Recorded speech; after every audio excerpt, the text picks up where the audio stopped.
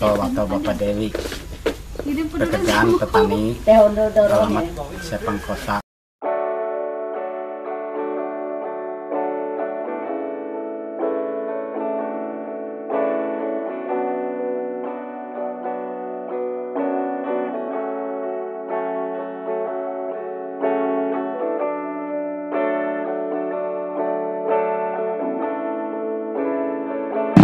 Nama saya Sano, masyarakat Sepang Kota. Pekerjaan saya sekarang di tambang emas. Nah, dulu saya kerjanya di uh, karet, Sadap Karet. sadap karet. Jadi karena harga karetnya turun, akhirnya kita saya lari lagi kerjanya di tambang karena tidak sesuai dengan pendapatan uh, ekonomi sehari-hari.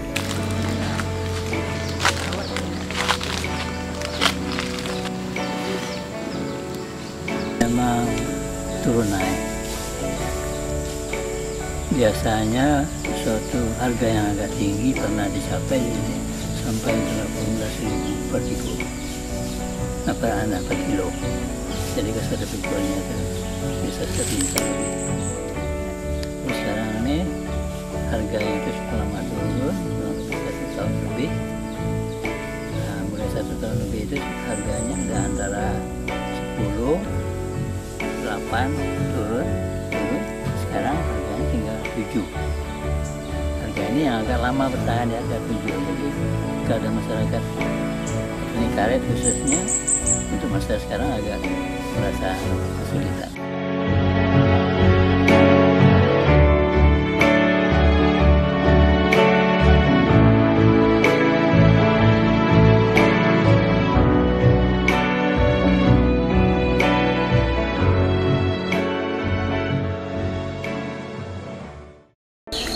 hambatan-hambatan yang memang banyak terutama soal harga yang paling apa itu menekan eh, hasil untuk membiayai rumah tangga. Jadi pemerintah itu sebenarnya bukannya mereka itu benar-benar memperhatikan nasib masyarakat terutama pemerintah ini cari bibit yang baik. Kukira masyarakat itu cukuplah penghasilannya.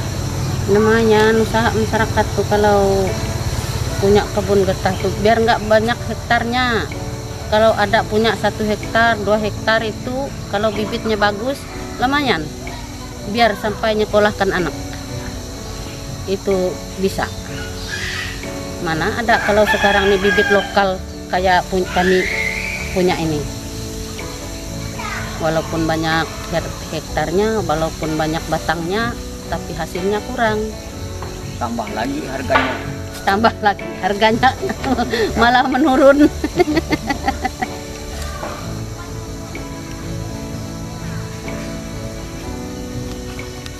Nama saya Hermanus, panggil sehari-hari Bapak Erlin. Saya petani karet.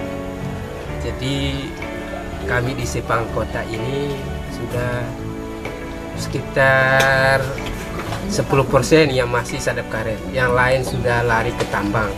Karena tambang bisa dia keseimbangan harga keseimbangannya pendapatannya dengan kebutuhannya bisa eh, dapat me- menutupi kebutuhannya.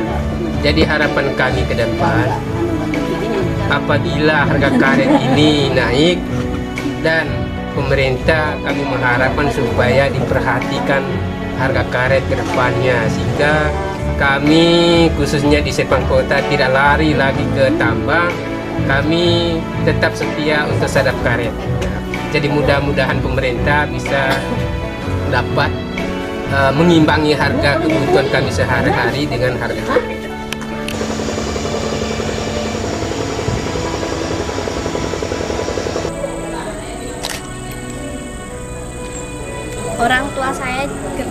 nyedap karet.